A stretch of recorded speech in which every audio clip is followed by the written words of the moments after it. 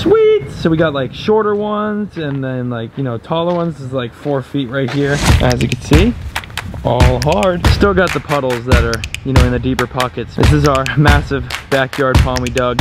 Let's just watch all these shrimp go right in. Think about just having like a bunch of those clownfish. Hey, buddy. They have so many fish. All right, which one should we get? Which one?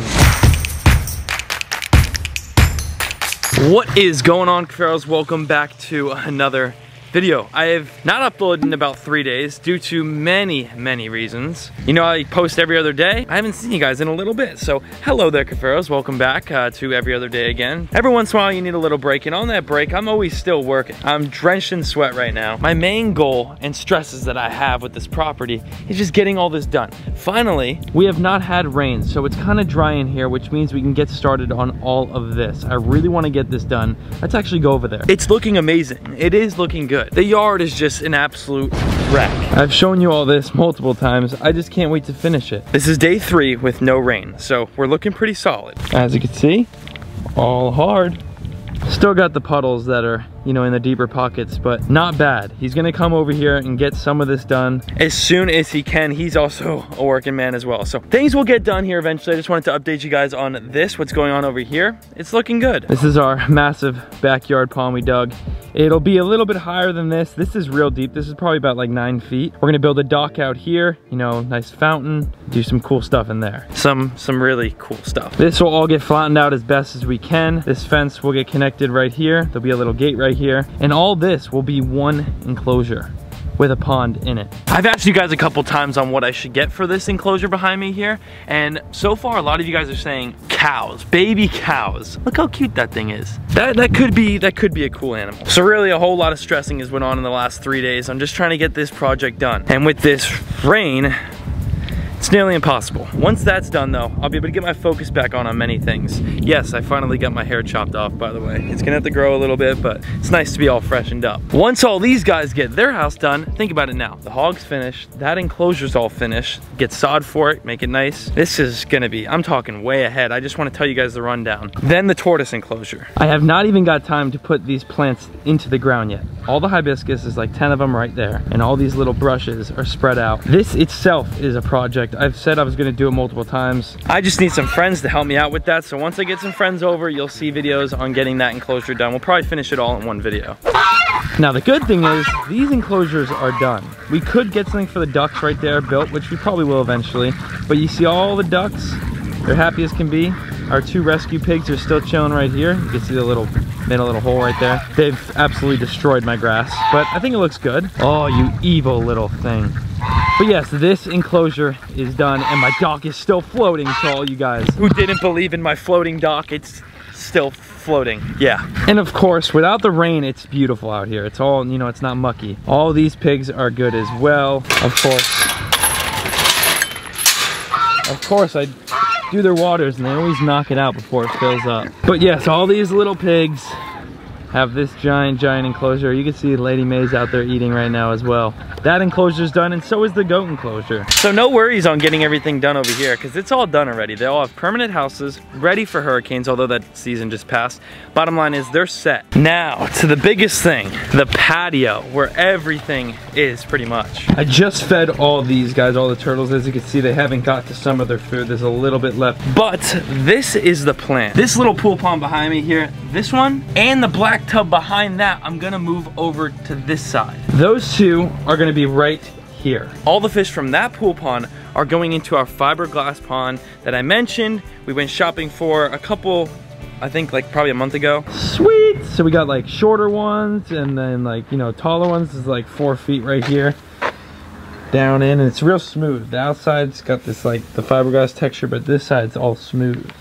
That's like the ones we have at the shop. Yeah, this is literally this exact one. This is where you get them. These are made for like coral. They grow coral in them. 400 different sizes. Look at the size of this one. This is the mold of uh, probably what is it? These were like we looked it up. I think it was like 11,000 for something like this. Yeah. They built one, sent me pictures, and it was awesome. And I told them that's got to be the exact one I want. That pond will go right here. It'll be that whole side right here. From that sliding door right there all the way to here. So think about how big that pond will be. Huge. And it'll come out to like right here. So all this. These pool ponds, I mean, if anyone wants pool ponds, let me know. So if you could try to picture it, we got the turtle ponds over there and the big one, all my fish are going into one pool pond right here because it'll be big. Stressful. Look at how cute these little turtles are. It's not sunny out right now, so it kind of looks like the water's a bit dirty, but I promise the water's clear. I've come to the conclusion where these turtle ponds get so dirty so fast because, I mean, they're turtles. It's just natural at that point. I like it when it looks natural like this. The water's clean. Look at how clear that is. That's all that matters. Let's see what our little African side neck's doing. Oh! Hello. Got the big snapping turtles in here. And our African side neck and our pink belly it's probably down in there, but our snapping turtle is hanging out right now. Now that you have an idea on the backyard patio and all the work that's got to get done in the backyard, whoa, hello fish. Got all that off my chest, had to just tell you guys all that.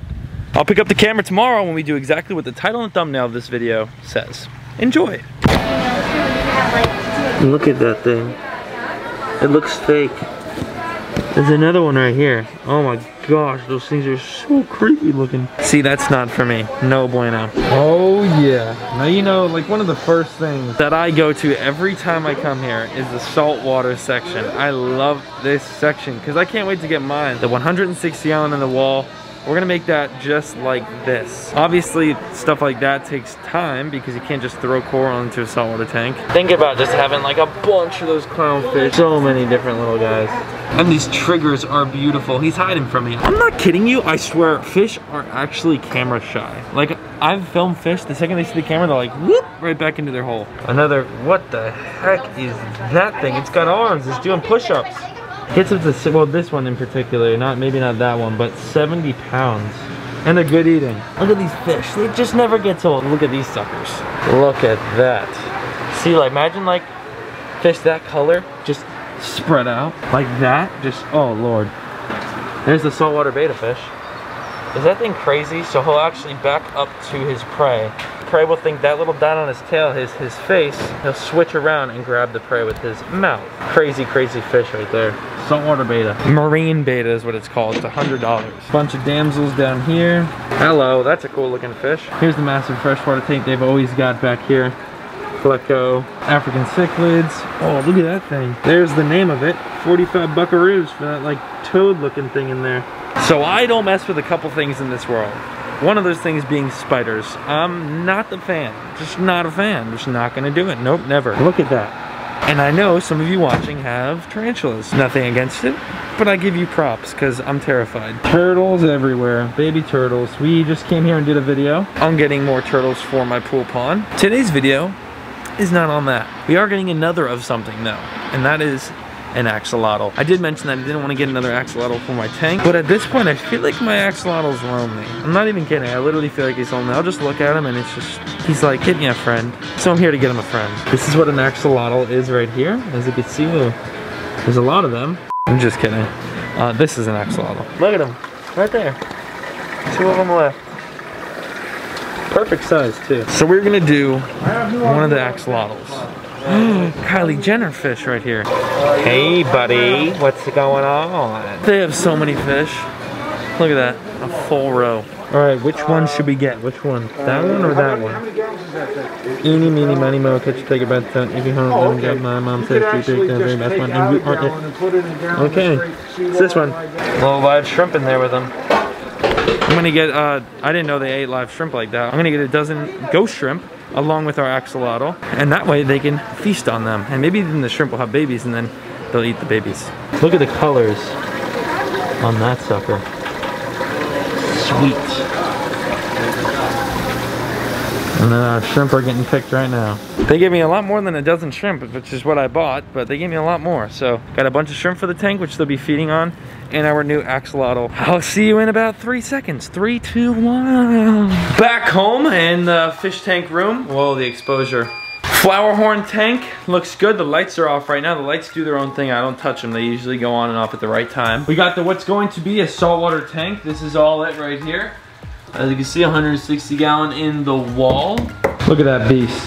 So excited for that, by the way. And then our axolotl tank. This is it. And I have two hides because I used to have two axolotls in here until the power outage happened and then I lost pretty much everything I had in this room. Anyway, this is the axolotl tank. I have well water here so it kind of stains the tank at its lowest point. I gotta literally like scrub that off.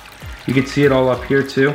Doesn't harm the fish, doesn't harm the axolotl. Obviously it's right down there, it's kind of blurry, but you can see them down there. The water is actually as hot as it's ever been. It's 71 right now, 71 degrees, which is not too bad. As long as it doesn't go over 75, it'll be good. But I like to keep it even lower than that. So right now, with how hot it is outside, I gotta close this window. I'm not even kidding, the heat from the sun. I'll leave it open while I'm filming, but I'll close it before I leave this room. The heat from the sun actually heats up this room. Like I could feel it myself. Let's get our new axolotl, absolutely beautiful, into the tank. So pretty. We're gonna put them right here. And our other axolotl's name is solely the Axolotl. I hate this stuff. Watch, it comes right off though.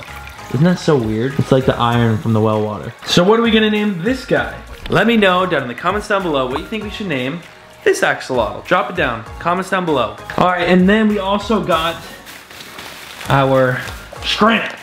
Oh my gosh, okay. Some of them are pregnant actually. But I got a bunch of little ghost shrimp. I asked them for a dozen, it looks like this a little bit more than even, looks like there's a little more than a dozen actually, but yes, got our ghost shrimp, got our ghost shrimp as well. We're gonna put those in and now let them both acclimate. You know what's crazy is about a couple months ago, I mean when I first made this tank, even with the old axolotls, there were these minnows, the mosquito. They were so tiny, they were actually feeders for the axolotls because the axolotls, for some reason, my old axolotl loved little fish. But these guys made it through and they lived and they're huge now. They're huge. And they call these fish mosquito fish. I got a bunch of them in my front pond. Look at them all. I mean, there's so many, along with our baby cichlids that grew up. If you look closely, like right there, that's a baby Mayan cichlid. And then a bunch of tilapia. Everything else other than the baby Midases we got that one day have been eaten by blue heron. Which is a big bird. Chill, buddy. I got music playing for you and everything. Without further ado, our tank right here. By the way, this is like 30 gallons, I believe. 30 gallon tank is about to get another axolotl. Ready? Let's do it. I know it might have seemed quick on camera, but that's what editing does. It's been about 10 minutes. I'm gonna put these guys down here. These are the shrimp. I only keep this light on like certain times of the day. I'll turn it off now. There's one of the hides and there is the Switch-Stoppa cameras and there is the other one right there. So you get two hides to go pick from and they don't fight over a hide.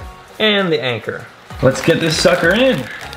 Ah, let's do the shrimp first. Let's just watch all these shrimp go right in. There they go. See ya, buddies. Oh, they're just spread out everywhere. Make sure we got them all out of the bag. Yep, got them all. Look at all the ghost shrimp in here now.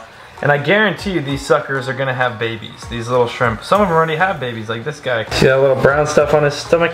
Now, as simple as this, we're literally just gonna open this bag and pour out the water. I know you're not supposed to do that typically when it's from like Petco and PetSmart. I know Mark personally and I know dang right he takes care of his fish and his water quality. So I just pour the water in every time I get something from Mark. Same with Predatory. No worries there. Let's see, ready? Go buddy, go. There you go. Woo! Look at him. Oh my God, is he eating? He ate already. They were all just surrounding him and he came up and just, there's both of them. Mine is the one in the front, the big one and that's the other one in the back. They're both literally sitting right next to each other right now in a very awkward position. And you know, I mentioned in one of my last videos that the angelfish had eggs. I took the video because I didn't want you guys not to believe me. I was so mad. Of course, the lobster, the crayfish in here, the blue one, ate them all right off the glass. Right off the glass. Killed all my baby angelfish eggs. It only takes seven days for these things to hatch and the crawfish just couldn't lay off of them for seven days. Roll the clip. No, why? And literally just witnessed him sitting there and then he went back down. You son of a... And this is where all the eggs were. As you can see, I didn't clean the glass right around them and they're all gone. They'll have more though. It's not the last time they'll have them. Just sucks because, you know, that we're gonna have babies. Thank y'all so much for watching. We got another axolotl. Make sure you name it down below. Go watch my new vlog video. I opened up a Pokemon box, a booster box, a little side hobby I got. Watch it, My vlog channel is gonna have all sorts of different content on there. You know, I'll be posting here every other day and there whenever I make some random video that doesn't relate to what I normally film here. Thank you so much. Go subscribe to that, subscribe to this channel, follow me on Instagram, and I'll see you in the next one. Peace out.